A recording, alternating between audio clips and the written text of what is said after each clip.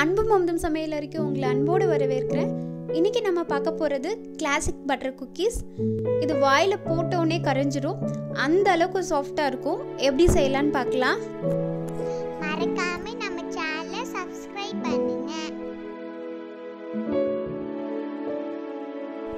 இதுக்கு நான் 75 gram butter எடுத்திருக்கேன். ரூம் டெம்பரேச்சரில் எடுத்துக்கோங்க. அப்போ தான் விஸ்க் வச்சு அடிக்கிறதுக்கு ரொம்ப ஈஸியாக இருக்கும். அரை கப் பொடி பண்ண வெள்ளை சர்க்கரையை கலந்துக்கோங்க. நல்லா க்ரீமியாக வர அளவுக்கு நல்லா கலந்துக்கோங்க.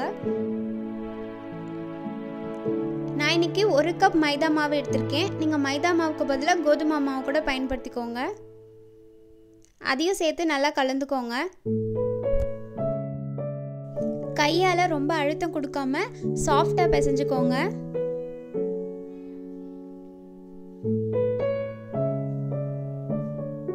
நல்லா எல்லாம் ஒன்றா சேர்ந்து வர அளவுக்கு பிசைஞ்சுக்கோங்க.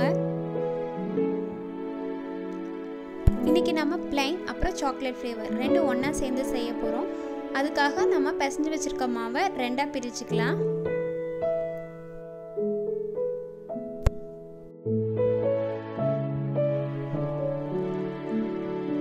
பிளைனாக செய்ய போகிறத தனியாக எடுத்து வச்சுருங்க. இதில் கொக்கோ பவுட்ரு சேர்த்துக்கோங்க. ஒரு டேபிள் ஸ்பூன் கொக்கோ பவுட்ரு சரியாக இருக்கும். நல்ல மாவோட சேர்ற அளவுக்கு பிசைஞ்சுக்கோங்க. இந்த அளவுக்கு இருக்கிற மாதிரி பார்த்துக்கோங்க. இப்போ இது ரெண்டத்தையும் சின்ன சின்ன உருண்டைங்களாக உருட்டி வச்சிடுங்க. உருண்டை ரெடியானதுக்கப்புறமா நம்ம பிஸ்கட் ஷேப் ரெடி பண்ணிடலாம்.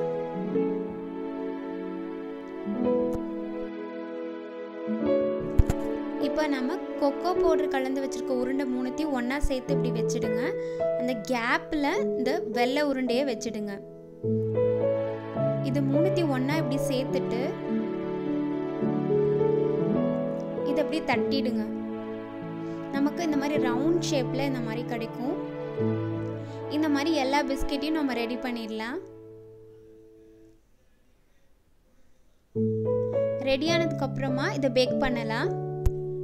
இன்றைக்கி நாம் கடாயில் பேக் பண்ண போகிறோம் கடாயில் பேக் பண்ணுறதுக்கு கொஞ்சம் உப்பை கொட்டிட்டு ஸ்டாண்டை வச்சு ஒரு பத்துலேருந்து பதினஞ்சு நிமிஷம் ப்ரீ ஹீட் பண்ணியிருக்கேன் அதுக்கப்புறமா நம்ம செஞ்சு வச்சுருக்க பிஸ்கெட்டை இதில் வச்சிடலாம். இது வேகிறதுக்கு பன்னெண்டுலேருந்து பதினஞ்சு நிமிஷம் ஆகும். நல்லா ரைஸ் ஆகி வரும். அதுக்கப்புறமா நம்ம ஓப்பன் பண்ணி செக் பண்ணிக்கலாம். நல்லா பிஸ்கெட் பெருசாகி வந்திருக்கு. இப்போ இது ஓப்பன் பண்ணி பார்த்துடலாம். நல்லா வெந்திருக்கு. ஓரெல்லாம் நல்லா ப்ரௌன் கலர் ஆகியிருக்கு பாருங்கள் இது நல்லா வெந்துடுச்சு. இப்போ நம்ம இது வெளியில் எடுத்து வச்சிடலாம். நல்லா ஆறுனதுக்கு அப்புறமா இது ஒரு ஏர்டைட் பாக்ஸில் போட்டு வச்சுடுங்க.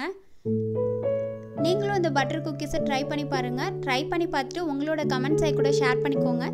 இந்த வீடியோ உங்களுக்கு பிடிச்சிருந்ததுன்னா மறக்காமல் நம்ம அன்பு மமதும் சேனலை சப்ஸ்கிரைப் பண்ணுங்கள்